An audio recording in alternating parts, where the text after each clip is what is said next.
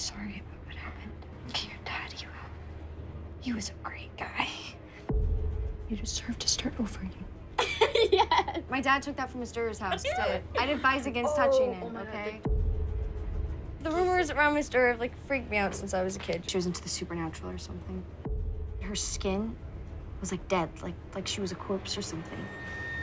So I think our friend Julie is home alone. Oh. Yo, we should go over there. Okay, that's a really good idea. Yo, Taylor. Breaking into her house to prank her, that's ridiculous. She just Emma. moved here, she doesn't even know anybody. Just go over there, find Julie, sneak up on her.